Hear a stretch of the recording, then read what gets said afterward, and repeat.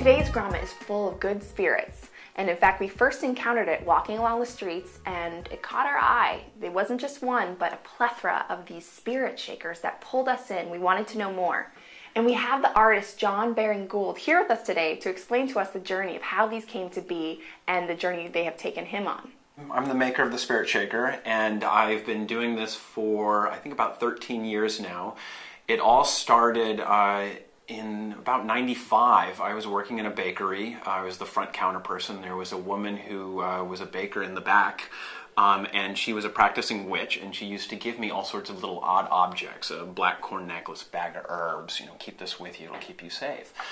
She went down to Latin America and came back uh, and gave me a gourd, just a, a gourd with a, a, face carved in the top of it, and she said it contained a spirit. And since it had seeds in it and it was a rattle, I just always called it a spirit shaker. Fast forward about five years, um, I was at Mass College of Art receiving my master's degree, and I had to have a graduate show.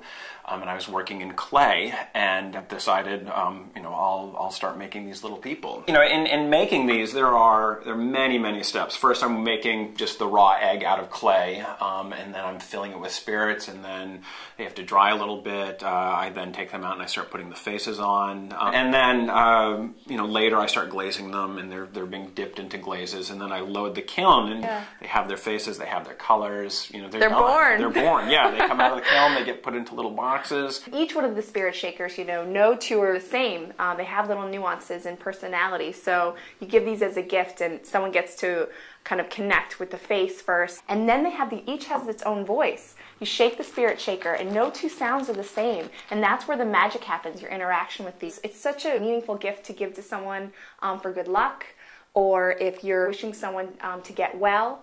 So the spirit shakers that Jon is making have so much emotive power. It's a pleasure to share their magic with you.